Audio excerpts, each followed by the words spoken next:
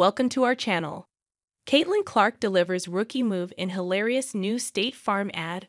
Former Iowa women's basketball legend and current Indiana Fever point guard Caitlin Clark premiered in State Farm's newest TV spot on Wednesday, November 20, in what is titled Rookie Move. State Farm, known for its unique cameos of musicians, athletes, coaches, and celebrities, places Clark as their most recent star following her WNBA Rookie of the Year award winning season. The commercial starts with a cameo of sports commentator Cassidy Hubbarth, displeased with her son's decision to back a car out of a closed garage door. Once Hubbarth refers to the mistake as a rookie move, Clark appears in her Indiana Fever uniform, practicing her golf swing next to the damaged garage door. The commercial continues with Clark propping open a lawn chair in a swift, one handed motion while talking about her share of rookie mistakes.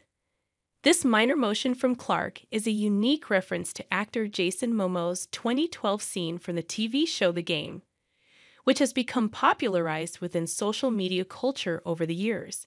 The advertisement ends when Clark summons Jake from State Farm, who reminds everyone that they'll be covered by the company no matter how long they've been in the game. The reference of game makes Clark disappear after being reminded that she is supposed to be playing for the Fever at that moment, which is itself a rookie move.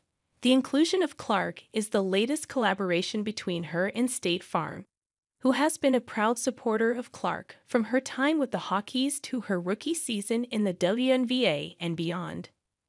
Clark, who averaged 19.2 points, 5.7 rebounds, 8.4 assists, and 1.3 steals per game on 41.7% from the field and 34.4% from three point territory in the regular season last year, will look to improve on those impressive numbers when the WNBA season starts up again in May 2025.